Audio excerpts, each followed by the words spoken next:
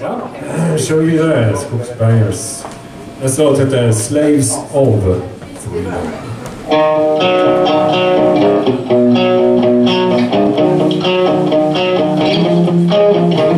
You runs